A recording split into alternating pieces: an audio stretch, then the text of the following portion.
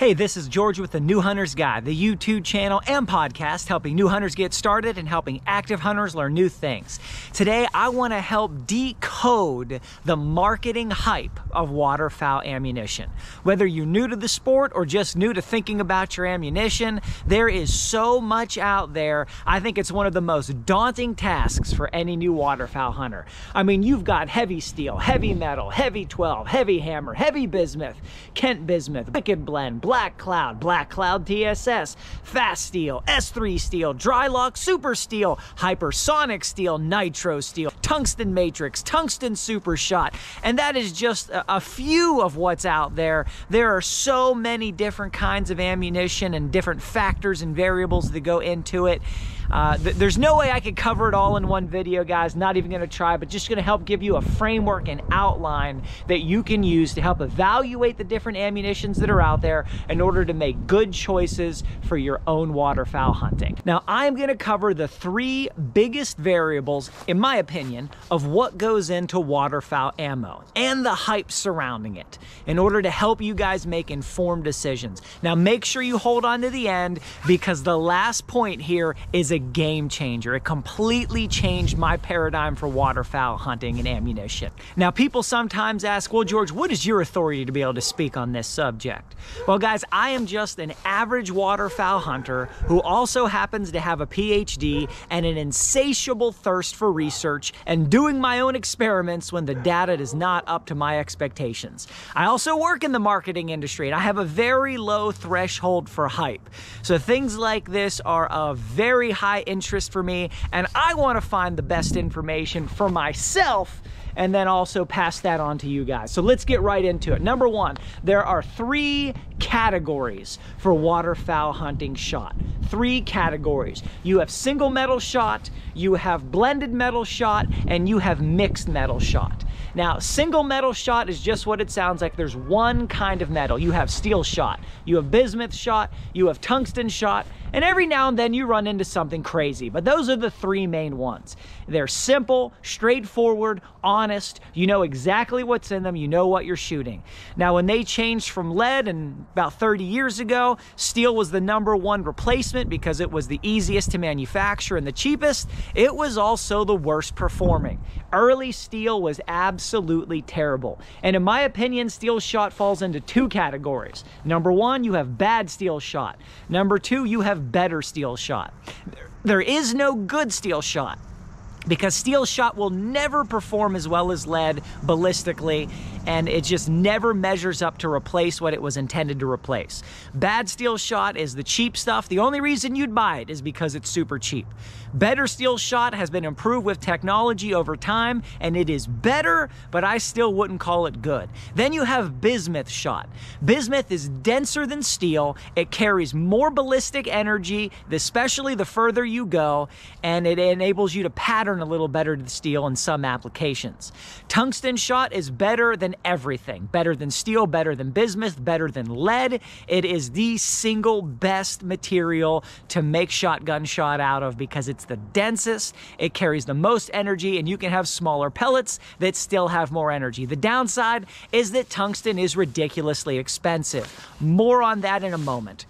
Beyond that, you have mixed metal shot and you have blended metal shot. Now, mixed metal is when you have two different metals, their shots are mixed in the same shell. So you have a percentage of steel BBs and then you've got a percentage of bismuth or tungsten or both pellets in the same shell. Now, I find this uh, particular category to be problematic. In fact, for new hunters, I would just scratch the entire category of mixed shot from consideration.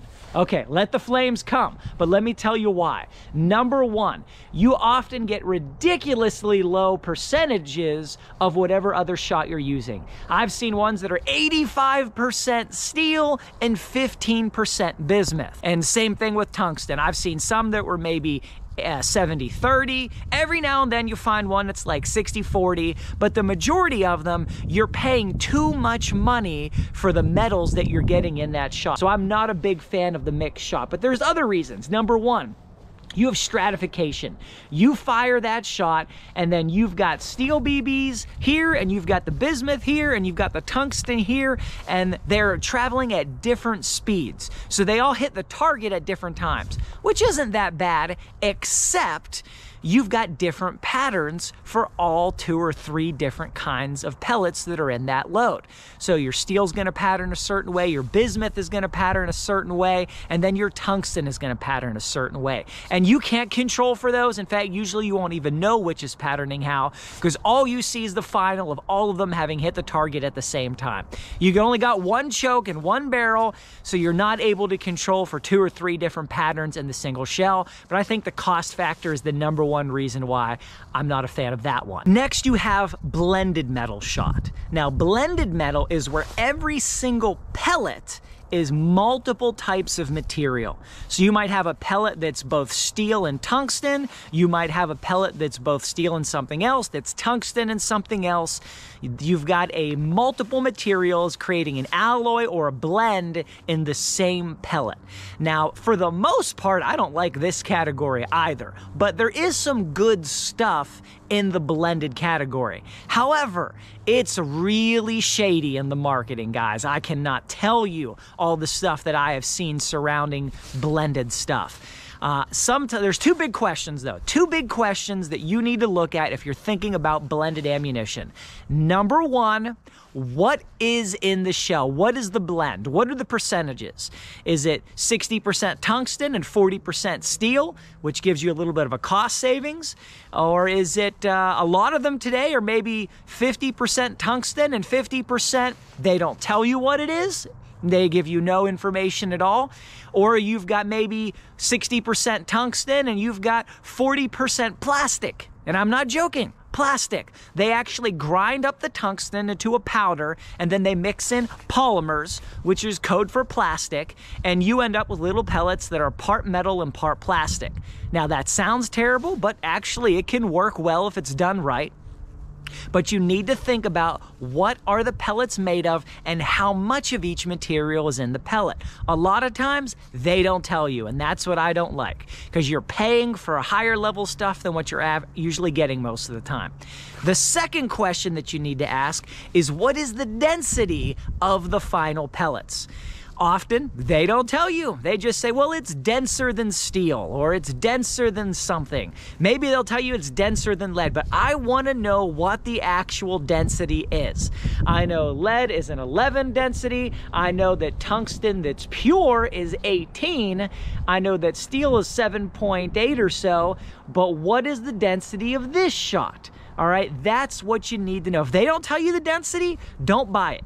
If they don't tell you what the blend is, what the different metals that are in it, be suspicious oftentimes you'll you you just you, you just hope you just whatever. It says it's bone crushing and it'll drop things out of the air and knock them dead in the sky at 40 yards and blah blah blah. What is in the shells? What are they made of? What's the actual density? If it's better than lead how much better? What is the number? Give me a number and tell me the materials that are in it. Another issue is how uniform is the blend of your blended metal shot now, if they just mix some metals together and hammer some stuff together and you end up with like marbled pellets, well, those aren't gonna fly right. They're gonna wobble, they're gonna fly lopsided, you're gonna have patterns that disperse all over the place. It's gonna be a disaster. So you wanna make sure that whatever company you're buying from is reputable. Now's a great time though to thank the sponsor of this video.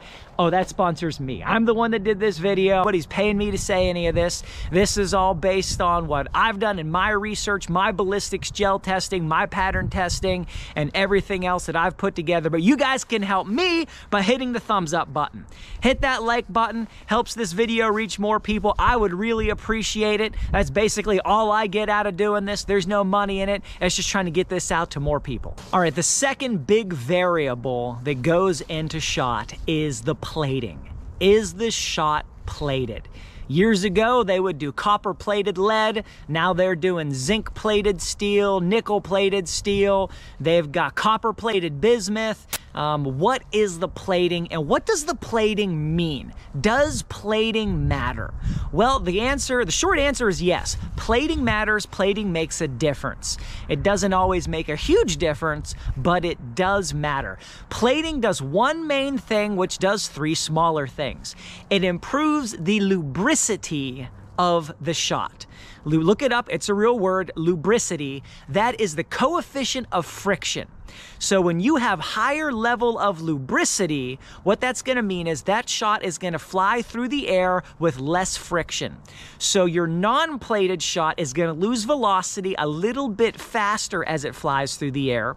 But also higher lubricity means it is going to penetrate deeper in the tissue of the ducks or of the geese. So you will have a little bit better penetration because of the plating, just because it will slide through the ducks a little bit better.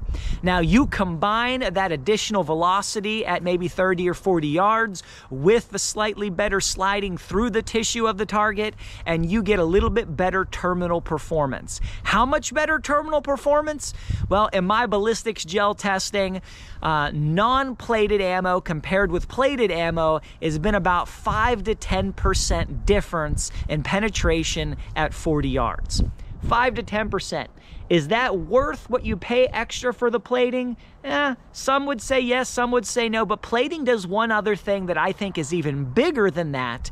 It gives you increased lubricity inside of the barrel, and most importantly, while going through the choke.